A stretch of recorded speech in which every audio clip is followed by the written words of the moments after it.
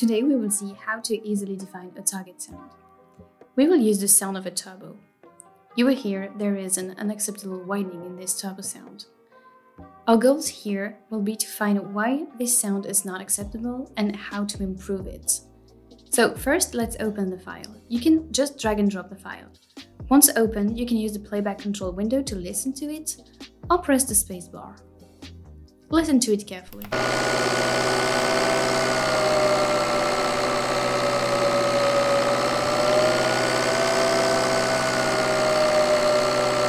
Now you probably heard the annoying whining coming from the turbo sound. To know where the whining is, let's analyze the spectrum of the sound. Right-click on the sound file and click on Calculate Spectrum. Now you have the spectrum of your sound. Switch from linear to logarithmic scale. Switch from dB-SPL to dBA using right click, waiting. And now you have the spectrum displayed in dBA. To find the maximum of the spectrum, go to the left panel and select the automatic maximum detection.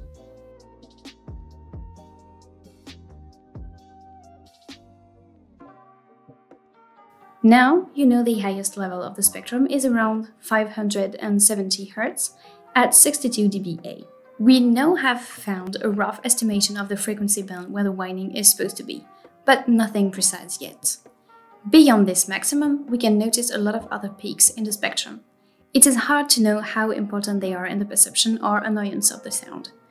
Indeed, just from the spectrum, how to guess what a whining exactly is, it is not easy to work on sound annoyance only by looking at sound in a spectrum. You need to listen to it. To investigate further, let's calculate the color map of the sound.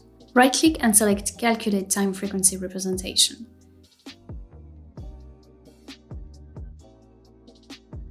Zoom in frequency, go on the bottom right of the window and click to zoom.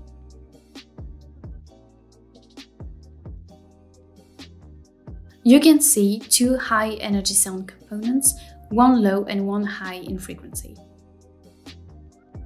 The resolution of the current color map is not clear. The current calculation settings of the color map uses 1024 point FFT size.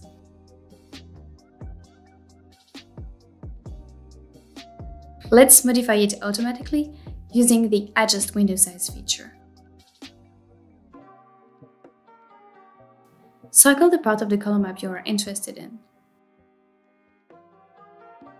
Color map resolution is automatically adjusted. As a result, you now have the most optimized FFT window size to see what you want to see. Select the lower sound component, which is the loudest one on the color map. Use the magic wand, as in Photoshop, to select it.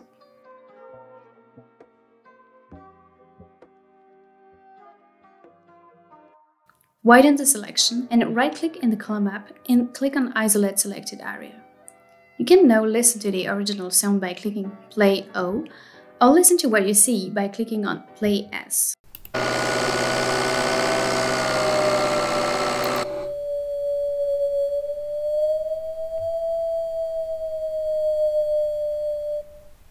We now have validated by hearing that the lower component is part of the whining. Translate what you have selected graphically in a classical sound file to use it later. Rename the sound file using the left panel. Click on a wheel, change the sound file name. To be able to apply this graphical selection to other signals, for example, other microphone positions, accelerometers, save the graphical selection. You can do this by going to File, Save Selection. Please note that by doing so, you saved a graphical pattern, but not a sound.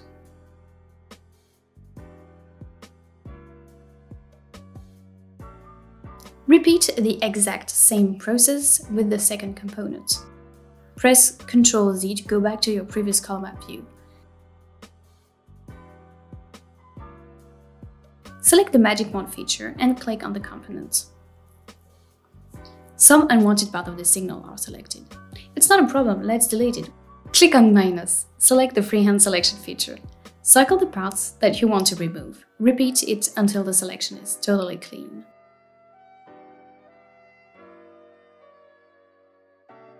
Reselect the part that you have removed by error using the Magic Wand feature once again. Okay, here we are. Right-click, isolate the selected area and listen to the sound.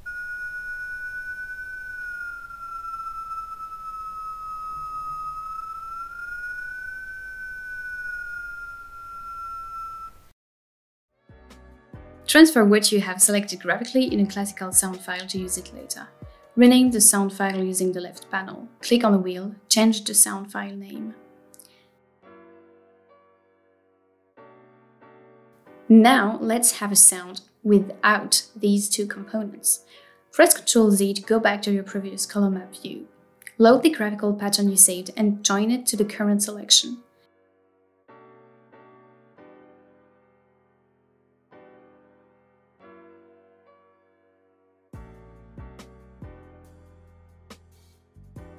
Delete the global selection. You end up with a sound without the two components. Same story, transfer what you have selected graphically in a classical sound file to use it later. We now have isolated three sound components, two whistling plus the background. We are going to mix them and analyze and modify the contribution of each sound component. Open the Mix table from the Tools menu. Click on the wheel to load the three components. One channel is created for each sound. This button is used to play the sound mix in loop or straightforward. Play the sound mix and adjust the level of each channel as you want by using the cursors.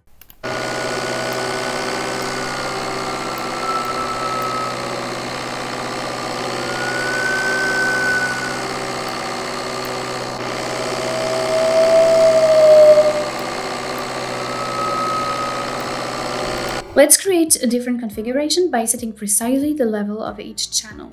What if we have minus 3 dB on the first whining and minus 6 dB on the second one?